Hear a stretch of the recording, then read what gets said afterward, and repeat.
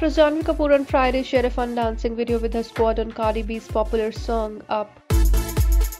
Janhvi shared an Instagram reel where she is seen dancing by the pool with her friends. The actress is seen wearing purple hoodie with yellow shorts.